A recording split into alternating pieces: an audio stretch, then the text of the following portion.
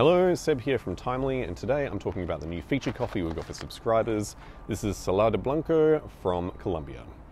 So, one of the great things about this coffee is that it's actually a combination of coffees produced by 36 different coffee producers throughout the Huila region in Colombia.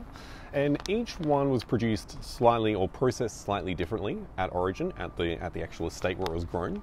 But the overarching theme of all of these coffees was that they were extended fermentation. So sometimes they were kind of fermented for, you know, 60 to 70 hours, but really what they're trying to do is they're trying to increase the amount of time the fruit is in contact with the seed and trying to control the way that the actual fruit is going to impart flavor onto the seed as well.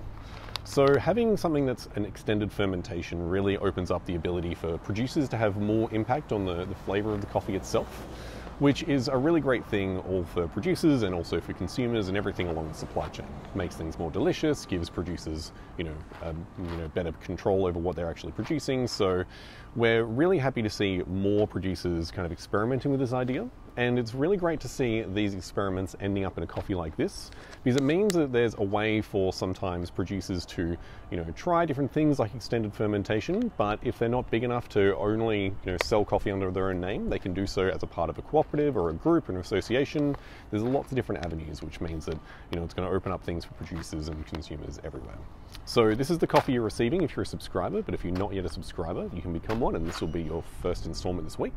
And then we'll have another coffee next week and that's all I got. Thanks very much.